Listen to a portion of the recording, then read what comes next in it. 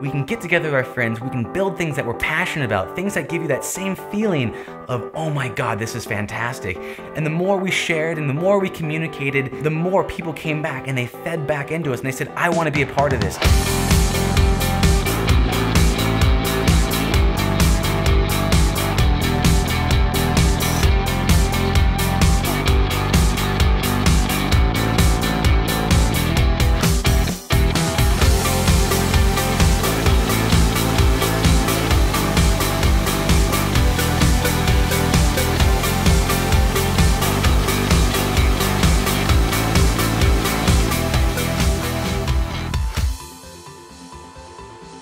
You can share exactly what's inside your head with somebody else. And you can do it with the technology that's currently available. And it's not hundreds of thousands of dollars and takes teams of scientists. It takes three guys in a garage just passionately developing.